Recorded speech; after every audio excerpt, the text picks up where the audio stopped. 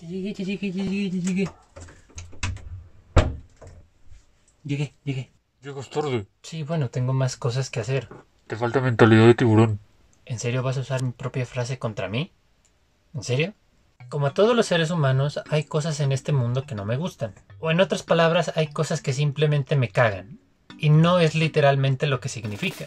Una de ellas son las preguntas estúpidas. Mi abuelo siempre me solía regañar cada vez que yo hacía una pregunta que era demasiado obvia. Y a medida de que voy creciendo, la verdad no lo culpo.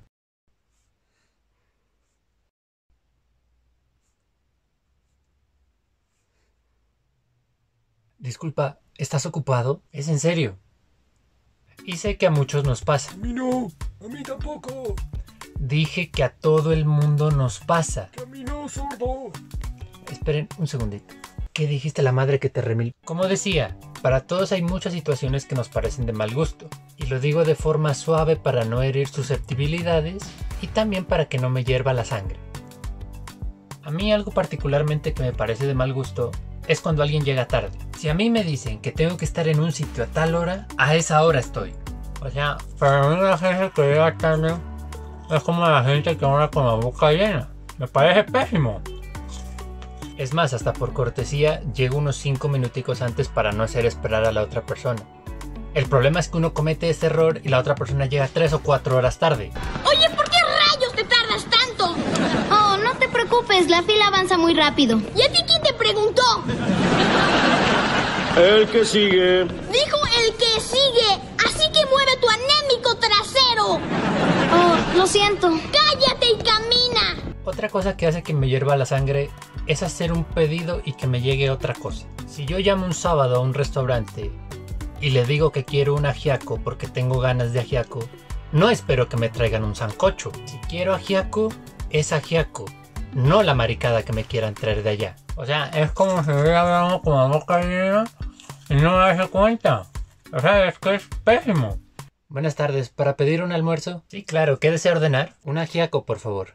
Ok, un sancocho. No, un ajiaco. Sancocho. Que no, que un ajiaco. Ah, ok, un caldo entonces. Chinga su madre. Otra cosa peor es tener malos vecinos. Y perdón vecinos si algún día llegas a ver esto. Pero de verdad tengo que quejarme de esto. No es posible que tengas todo el puto día para hacer todo el ruido que quieras y vengas a prender tu estúpida licuadora a medianoche. Eso sí no.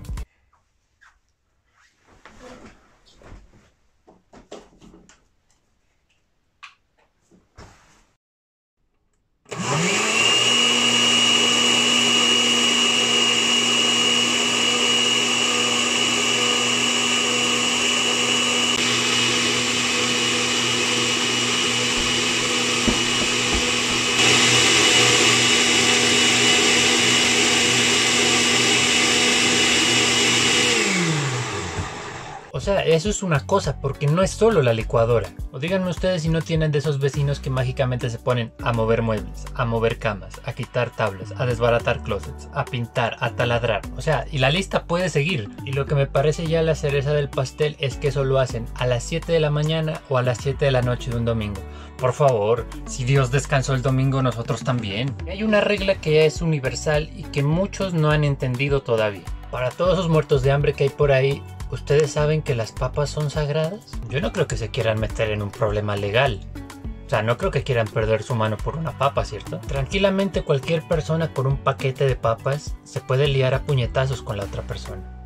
Ustedes no saben en lo que de verdad se están metiendo. Y una última cosa que debería dar cárcel también es la lavada de los platos. Ustedes no saben lo irritante que es estar por acabar esa tarea que es muy odiosa y de repente viene Don Comedia y con técnica ninja empieza a pasar tu plato por debajo para que nadie se dé cuenta y cuando uno cree que ya está por acabar voltea y lo que da ganas es de insultar a todo el que se encuentra.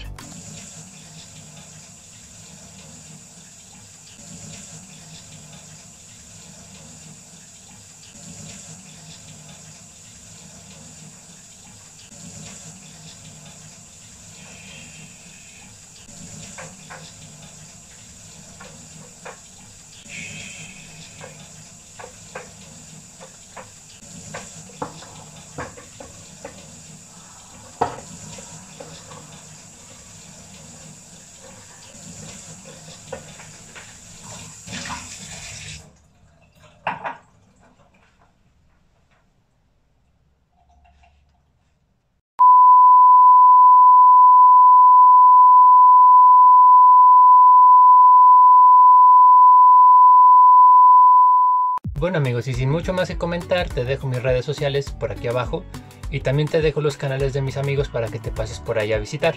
Y decirte que nos vemos la próxima semana con un video nuevo.